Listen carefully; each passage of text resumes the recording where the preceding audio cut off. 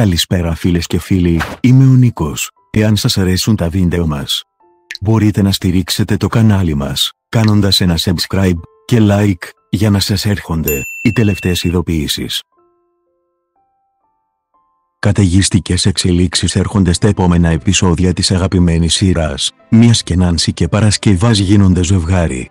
Αρχικά ο τελευταίος δεν ενδίδει στα παρακάλια της ειρήνης για να τα ξαναφτιάξουν, και μάλιστα αποφασίζει να κάνει το επόμενο βήμα στη ζωή του. Έτσι λοιπόν αρχίζει να βιάνει με την Άνση, η οποία στο πρόσωπο του βρίσκει τον κατάλληλο άνδρα για να ξεπεράσει την ερωτική απογοήτευση που της άφησε ο κουρακός. Ο Παρασκευάς με την Άνση αρχίζουν και κάνουν πολύ παρέα, βγαίνουν βόλτες και φαίνεται να περνούν καλά. Ωστόσο η Ειρήνη δεν το βάζει κάτω επιμένοντας να ελπίζει σε επαναπροσέγγιση με τον Παρασκευά και έτσι αρχίζει να παρακολουθεί τον πρώην αγαπημένο της και όταν κάποια στιγμή τον βλέπει με την Άνση μαζί τρελαίνεται. Χάνει τη ψυχραιμία της και επιτίθεται στη μέση του δρόμου στην Άνση, βρίζοντας την και αρπάζοντας την από τα μαλλιά. Η Νάνση ξαφνιάζεται από τη βίαιη επίθεση και παράλληλα γίνεται πυρ και μανία με την ειρήνη ζητώντας την παρέμβαση της αστυνομίας.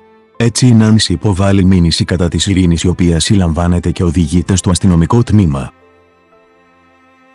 Μείνετε συντονισμένοι στο κανάλι μας, για να μαθαίνετε πρώτοι όλες τις εξελίξεις, έρχονται πολύ συναρπαστικά επεισόδια.